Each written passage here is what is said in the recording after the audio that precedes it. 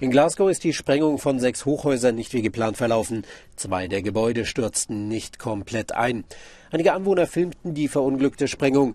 Die Hochhäuser hatten, bekannt als Red Road, jahrzehntelang die Skyline der schottischen Stadt mitgeprägt.